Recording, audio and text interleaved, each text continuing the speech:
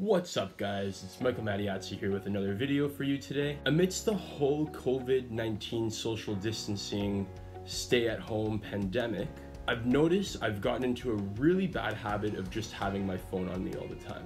And when I was at work, I had gotten so good at keeping myself away from it and now I find it increasingly hard to do so because I'm at home all the time and I have so much free time on my hands I just want to pick it up and check what's going on all the time.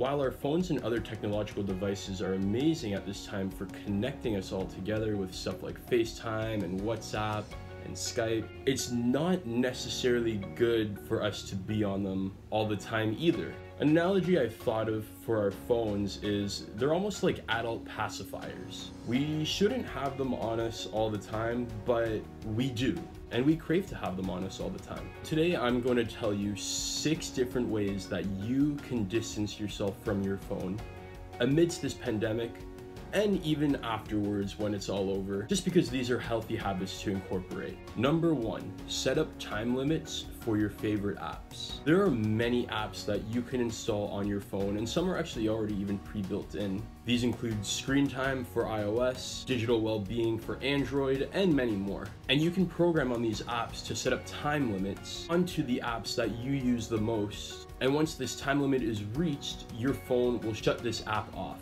disallowing you to use it for the rest of the day, unless you allow yourself to from your phone settings, which I highly recommend you don't do.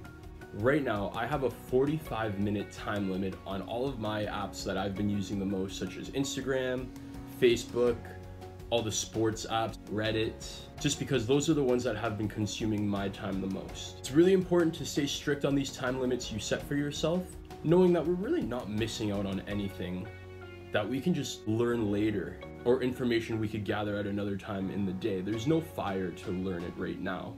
And the last thing we want to be is a slave to our smartphones. Every day since I've set this 45 minute limit onto these apps, I've noticed the following. Whenever I reach the 45 minute limit, it's always the same reaction. I'm always just like, wow, I've already wasted 45 minutes just looking at Reddit and Instagram and it's only 1 p.m. That's so much valuable time wasted. I could have been doing something else. Hence, this motivates me to do more once I reach this limit, knowing how much time I've wasted, how much time I could have spent doing something else more productive. Time has an opportunity cost as well.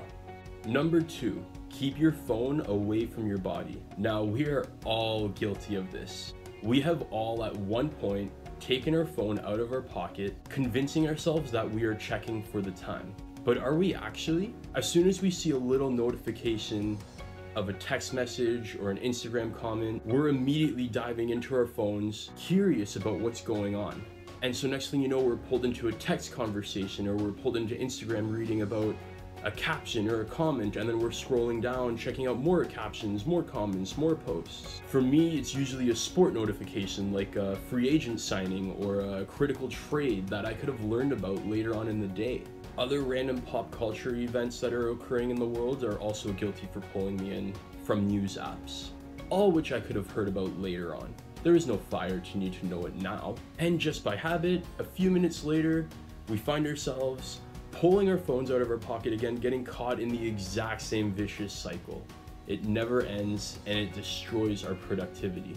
Another thing we are all guilty of is being in the middle of a conversation with someone face to face our phones are in our pocket, our phone vibrates, and then suddenly we're not engaged in the conversation we're having with the person in front of us anymore.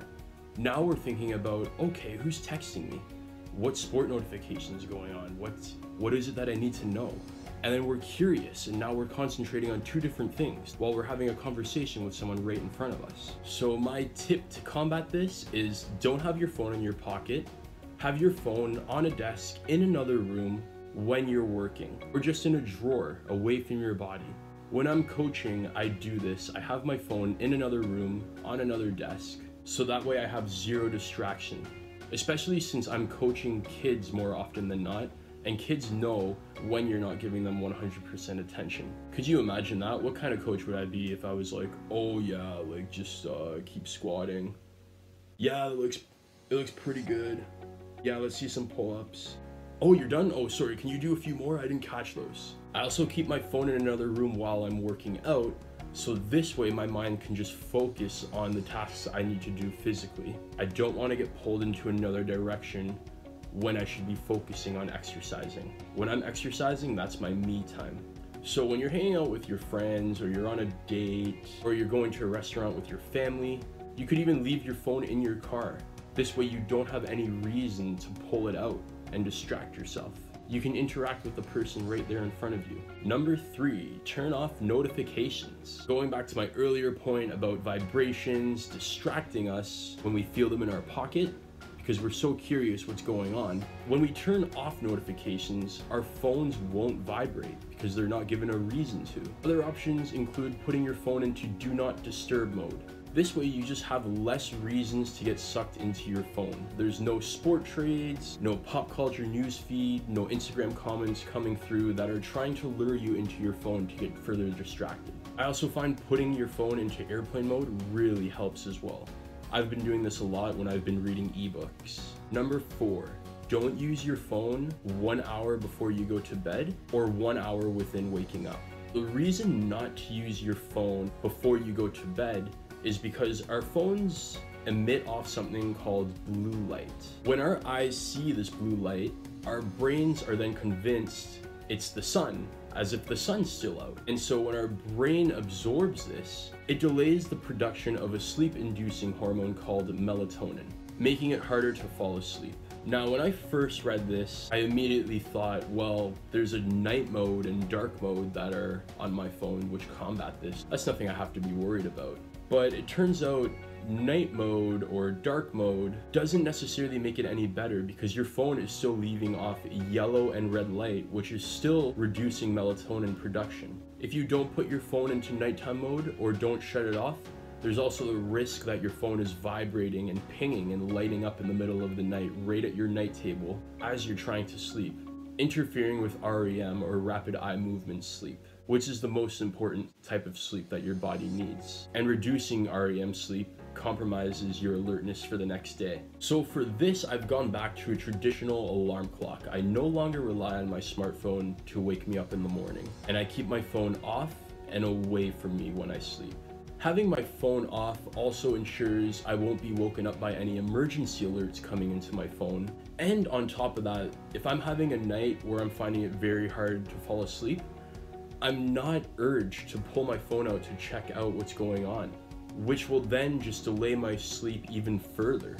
You'll also want to avoid pulling your phone out within the first hour of you waking up in the morning. Dr. Benders Haiti says turning on your phone immediately upon waking up will more likely increase your levels of stress and overwhelming as you start getting bombarded with work emails, Instagram captions, text messages, pings for meetings, your agenda is no longer your own. It is now somebody else's. You also risk potentially polluting your mind with negative posts and comments, which can influence and feed your mind negative thoughts, dragging out onto the rest of your day, making you feel stressed and upset throughout the entire day. Email notifications in the morning and throughout the day are linked to higher levels of anxiety. At the University of British Columbia, researchers conducted a study amongst 124 students and professors. They asked that they all checked emails frequently for the first week of the study.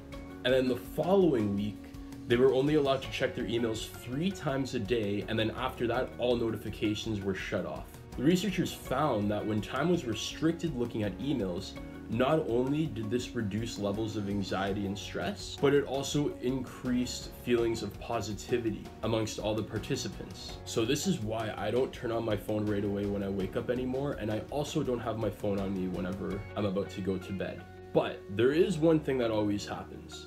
I want to Google something. Something pops into my mind right before I'm going to bed, and I want to know it immediately. So my advice for this, have a little journal on you so you can write down what it is you want to research and look up. So then that way you can do it at a later point within the next day or later on in the day, depending on if it's at nighttime or in the morning. Number five, use apps to post social media posts in advance. I mainly made this category for those who are employed within marketing and other social media professions where they have to use these apps for their job and have no choice but to be on them all the time. Apps like Hootsuite allow you to schedule a day and a time when to make a post on a social media platform. Another tip is you can schedule a time within your workday to create these posts in advance. That way you're not doing them at home on the spot. If you need to have that post out by 7 p.m., this ensures that you're not on your phone at 6.58 struggling to get this posted and ready. You could have it prepared at 11 a.m. from work and then it posts by itself at 7 p.m. later that day. Number six, use one device for different tasks and apps. The more devices you have to check Facebook and emails and Twitter and Instagram, the more potential distractions you have to get sucked into. And the point of this video is to limit your opportunities of distractions. So what I've been doing is I limit my emails to only my computer and my phone is for checking sports news and using Instagram. This reduces the likelihood of me just getting sucked into my phone for checking emails. It's one less reason to go onto my phone which I find very helpful. I'll give you a real life example of why this can really help. I had been using my notes app on my phone to track my calories throughout the day of what I've been eating. And after lunchtime, when I went to go to my phone to record how many calories my sandwich had, I opened my phone and the first thing I noticed was Instagram captions coming in through my feed. So I went onto Instagram. I started scrolling through for about 10 minutes and then I put my phone down, went downstairs, only to realize I forgot to do what I wanted to do in the first place record my calories. I totally forgot. And on top of that, I wasted 10 minutes on Instagram doing nothing. I don't even remember what I saw now. For this, I started using an actual physical notepad as opposed to my notes app, giving me one less reason to get distracted by my phone. Okay guys, there you have it. Thank you so much for watching. Those are six ways that you can distance yourself from your phone. Please give this video a thumbs up and also please share it with that one friend you know who can never put their phone down. I think they need to see this. Please comment below what tips have worked for you and which ones you'd also like to recommend to other people that didn't make this video. I personally would love to know myself. I would like to dedicate this video to my dad, who for years was the only lawyer in Ontario who did not have a cell phone. And we always used to make fun of him for this as kids. We'd never be able to get a hold of him to get something like milk, to know what time he was coming home, and it was really frustrating. But his argument was always the same. He would always say, oh, well, when I was your age, we didn't need any cell phones to do anything like this. If we needed to meet somewhere, we'd just get on the phone, say meet at this intersection, and we'd be there at 3 p.m. Your generation, you've got more communication, and you guys don't even know what's going on the next minute. We all survived without cell phones. I don't know what the big fire is, why we all need them now. And honestly, after distancing myself from my phone, I've come to the realization my dad and his ancient ideologies are correct. Phones aren't as necessary as we think they are, but they are useful for certain things. So it is important to use them in moderation. So there you have it, guys. Don't let your phone make a slave of you. Keep yourself distance from your phone. And I hope you guys are all doing well. Thank you very much, guys. I'll see you next time.